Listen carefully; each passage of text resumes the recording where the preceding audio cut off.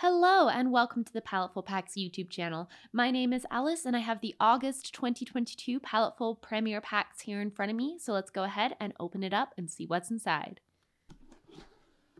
Ooh, that's a cute sticker. Oh my god, this reminds me of Stardew Valley. That's so cute. I love that little pixel art sticker.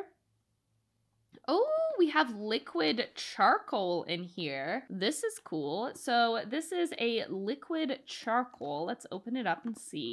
Oh, oh, this is a big tube. So we have a full 50 milliliter tube of Nitram Nitram, Nitram Fusains liquid charcoal, um, which is like a charcoal in a paint form that we can use.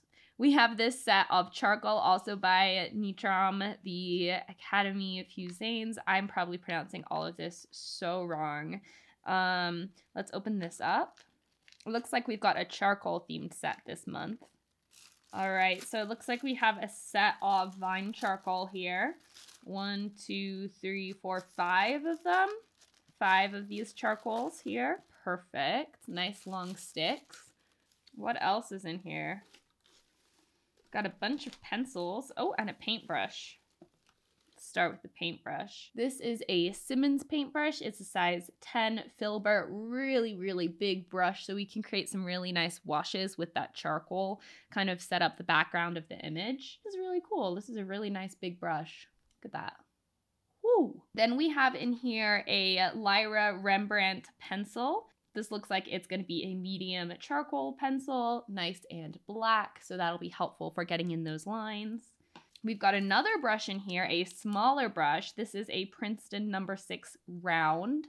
So this is going to be perfect for getting in more details with that charcoal paint. We've got another charcoal brush. This is by Generals, and this is going to be a 2B. And then we have this white Carbothello pastel pencil by Stabilo that's going to be perfect for adding in white highlights on top of all of our charcoal. We have a plastic mono Tombow eraser, um, which will be so helpful for picking up little details and cleaning up our image. Ooh, we have these chamois, is that how it's pronounced? Um, sheets, they're five by seven, and this is for blending out and smudging pastels, graphite, charcoal. You can blend, lighten um, a heavy application to give it a nice smooth finish, um, and you can rinse them after use, so you can reuse them, which is really nice. And then we have the surface down here. Looks like it's by Canson. So the surface is going to be this XL pad of Canson paper. It's 9 by 12, 98 pounds, and you're going to get 40 sheets. And this is actually a gray paper. So it's going to be this nice medium tone. It's got a really nice kind of like sandpaper rough texture to it. So it's really going to grab onto that charcoal. And we can use this as the midtone. So we can use that charcoal to add the darks and then that white pencil to add in highlights on top of it. Okay, so we have all of these charcoaly supplies here. We've got some liquid charcoal, eraser, we have some charcoal sticks, we've got some stuff to blend it out with, we've got those brushes to use with the liquid charcoal, a couple charcoal pencils, and that white pastel pencil as well, and then that really, really unique gray surface. So we've got a bunch of really unique and interesting supplies. I'm really excited to play around with these. A lot of them are supplies and textures and surfaces that I haven't used before. So let's go ahead, jump on into it and make some art.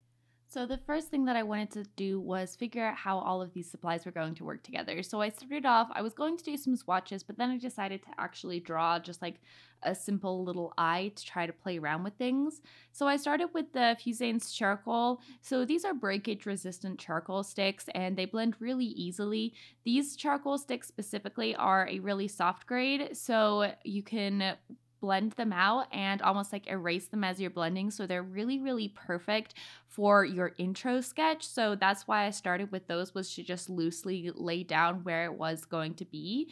And then I went in with the general pencil charcoal pencil. This one is kind of like a medium black, I would say. This one is not as black as the Lyra one. The Lyra one is really, really black. So I felt like the general pencil, which is the orange pencil, um, was the best for kind of adding in those midtones. And then I went back in with that Lyra, which is actually a grease pencil, and that provides really, really, really dark black. Um, color that I was able to use for some of those lashes and the crease where the um, uh, the eye is. And then I used that eraser to tidy things up a little bit. I turned that first swatch into a little eyebrow and kind of adding in a little highlight. I went in with this white Carbothello pastel pencil, which are super, super pigmented, and added in a really, really nice white right away so I could really pop that highlight. And then I played around with the liquid charcoal, which, like I said, is water soluble. You can use it as like a watercolor. And while I didn't use this, you can actually use it like right out of the tube. It's really thick, like oil paint, and it can be worked with a palette knife. So that's something that sounds like a really interesting application that I might have to try sometime. Moving on into the actual piece, I was inspired by my little practice sketch and I decided to draw an eye. So I texted my sister and got a reference photo of her eye and started with the Fusains charcoal because, again, like I said, it's really perfect for starting out a sketch because you can see you can blend it out into a really light tone. So you can still keep your sketch underneath and see what's going on, but it's not too dark and it doesn't get in the way as you're adding in details and building things up. So I started with that and then I went in with some of these pencils, going back and forth between the two different pencils. Like I said, one was a little darker than the other. So I just kind of went with whichever one made the most sense for the area that I was working in. So I'm using the slightly lighter one, which is the charcoal general pencil to add in some color, uh, some shading in the eye, and then I'm using that darker one, the grease pencil, to add in some darker colors in the center of the eye. Once I have the overall idea and shape of the sketch put down, I'm going to go in with the liquid charcoal and I'm going to start adding in some shading. I wanted to use the liquid charcoal as a base and then go back over with the charcoal um, pencils. So I kept everything really loose and I wasn't too concerned about detail because it was more just like the base of everything and providing certain bits of shading. But I did add some detail in the eye with the smaller brush, which um, was really nice to use. Um, and I was able to get some fine details, especially in the lash line and things like that. Once that was dry, I went back in to deepen the shading again using that um, charcoal general pencil. I'm going back and forth between using my finger and the chamois smudge. It just kind of depends on what area that I'm working in and what I feel like is going to be easiest for me to use. Um, and just darkening the center of the eye. I work in a lot of layers here, and you can see that you can really get with that grease pencil a really nice dark black, especially once you blend it out. I definitely recommend, like with every type of charcoal or graphite, that you're intentional with your mark making because no matter how much you smudge it, you're still probably going to see some of your mark making underneath. So try to move your marks in the direction that the shading is going. So, for example, I'm shading the eye and I am moving my marks eh, from the center of the pupil out to the outside of the eye or you know, vice versa. I'm not moving them left to right. I'm not moving them in a different direction from the way the eye goes, if that makes sense.